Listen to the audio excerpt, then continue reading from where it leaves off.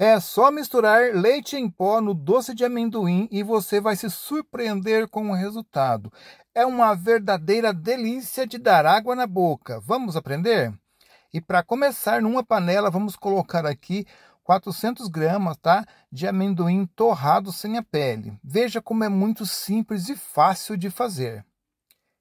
Agora vamos colocar aqui uma colher tá, de manteiga. Em fogo baixo, a gente vai mexer aqui os nossos ingredientes na panela, ok? Olha só como é simples para fazer, muito fácil.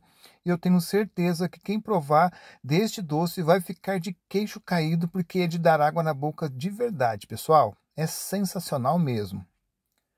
Veja, depois que a gente fez isso, a gente vai acrescentar agora duas caixinhas de creme de leite condensado, tá? Olha só. A gente colocou duas caixinhas de leite condensado, estão fazendo essa quantia porque em casa é bastante pessoas, tá? Mas você pode fazer em menor quantidade, dividindo então a receita pela metade, ok? Depois que você colocar então aí o leite condensado juntamente com os ingredientes, né? A gente vai continuar mexendo aqui então todos os nossos ingredientes na panela, continuando em fogo baixo, ok? Olha só como é muito simples e fácil para fazer. Depois que você colocou aqui o leite condensado, vamos colocar também duas caixinhas de creme de leite. E vamos mexer mais um pouco aqui para misturar bem os ingredientes, então, em continuando em fogo baixo, tá? Vamos colocar também uma xícara de leite em pó. O leite em pó pode ser a marca aí da sua preferência, ou o que você tiver aí, não tem problema algum. Agora é só mexer muito bem aqui, né? Até dar o ponto, então, do nosso doce. E já vão dizendo onde está nos assistindo para que a gente possa mandar um abraço especial para vocês. Eu falo de Jataizinho, no Paraná, e fico feliz em saber de onde você está nos assistindo. Que você possa compartilhar também com os amigos e familiares para que eles possam ter acesso às nossas receitas né? e aprender também a fazer. Veja, o ponto é quando desgrudar do fundo da panela, tá? Sempre mexendo para não queimar, tá bom? E quando não estiver mais grudando no fundo da panela, então este é o ponto de nós tirarmos aqui da nossa panela o doce. Em uma forma é, forrada aqui com plástico de congelar, tá? Esse saquinho de congelar, a gente vai despejar então o nosso doce dentro para modelar então os nossos doces. Veja só como é muito simples. Simples demais, não é verdade? Fácil de fazer e o resultado é sensacional. É de dar água na boca.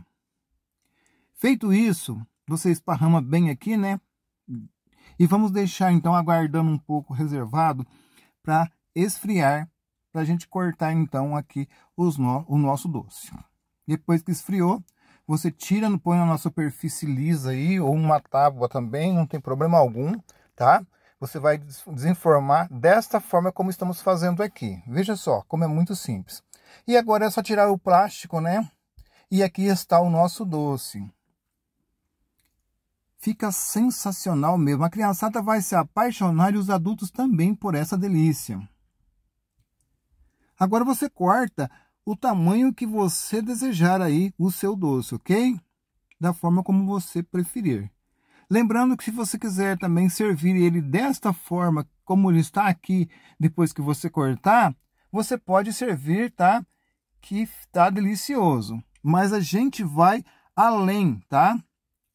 A gente vai fazer o seguinte, agora depois de cortado assim, a gente vai passar então no leite em pó, tá? Para dar um toque especial aqui, mas é a gosto, se você preferir não fazer isso, aí fica do seu gosto, ok?